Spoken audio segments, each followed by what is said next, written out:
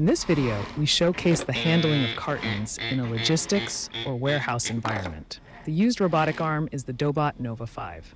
It is ultralight and easy to use. RealSense D435 from Intel is used as a single 3D camera for localization and measurement. Schmalz Electrical Vacuum Generator, ECBPM is designed for lightweight robots and cobots and features a compact electrical vacuum generator. Its interchangeable suction cups make it versatile for a wide range of applications, enabling the handling of airtight workpieces up to 3 kilograms. Perfect for automated tasks like bin picking with a single suction cup, it easily integrates into automated machines in confined spaces. The electrical operation eliminates the need for compressed air hoses, simplifying the setup. The robot uses its vacuum gripper to identify and carefully pick up individual cartons from a box. The robot's 3D vision system detects the position and orientation of the cartons to enable precise handling.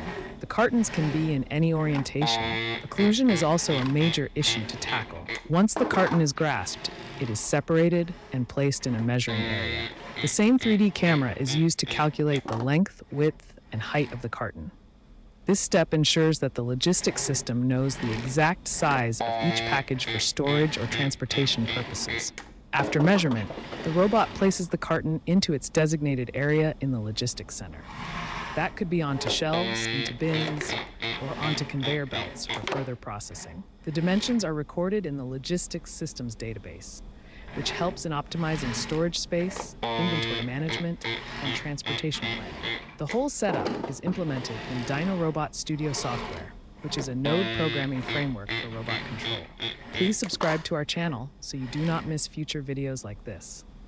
Thanks for watching.